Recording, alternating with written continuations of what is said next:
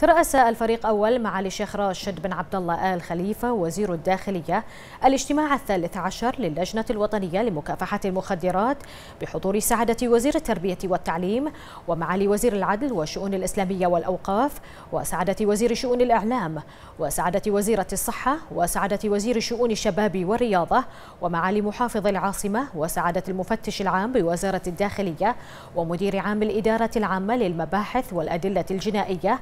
وأعضاء اللجنة من ممثلي المؤسسات الحكومية. وفي بداية الاجتماع رحب معالي الوزير بأعضاء اللجنة منوها بالظروف الراهنة والتي تتطلب تعزيز الالتزام بالإجراءات الاحترازية لمكافحة فيروس كورونا خاصة وأننا ملتزمون بالتعايش مع الأمر وفي الوقت ذاته اتخاذ كافة التدابير الوقائية. وثمن معالي الوزير الجهود المبذولة لمكافحة المخدرات الأمر الذي كان له بالغ الأثر في الانتهاء من تنفيذ المرحلة الأولى من الخطة الوطنية لمكافحة المخدرات والمؤثرات العقلية 2015-2019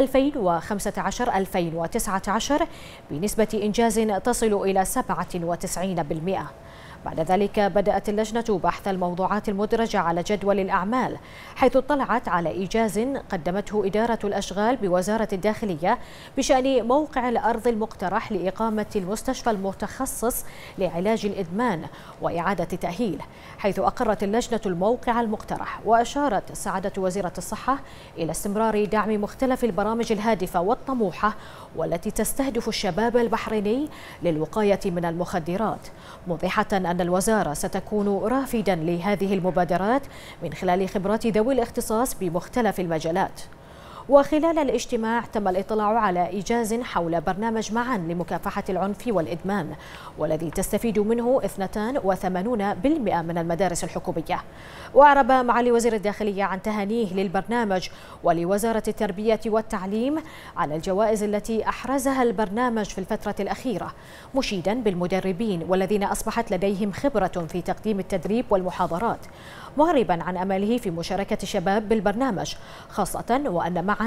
قدم هوية خاصة بالبحرين. وفي هذا السياق أكد سعادة وزير الشؤون الشباب والرياضة العمل على تقديم المحاضرات في المراكز الشبابية وتأهيل عدد من الشباب كمدربين وهو ما أشاد به معالي وزير الداخلية باعتبار ذلك جهدا مؤسسيا مقدرا. ومن جهتها أكدت وزارة التربية والتعليم أهمية العمل على سن قانون يجرم تعاطي المواد الطيارة للحدث حيث تم الاتفاق على تشكيل لجنة من الجهات المعنية لاتخاذ أو لإعداد تقرير متكامل حول الموضوع يتم على ضوءه اتخاذ الإجراءات اللازمة.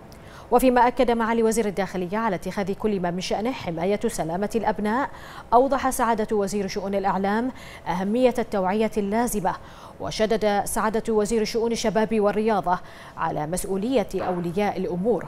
وعرض سعادة المفتش العام بوزارة الداخلية الإجراءات المعمول بها في مراكز الشرطة في هذا المجال فيما أشار سعادة وزير التربية والتعليم إلى أهمية التعاون وتكامل الأدوار في مجال التوعية بمخاطر المخدرات لافتا إلى جهود المؤسسات التربوية على هذا الصعيد.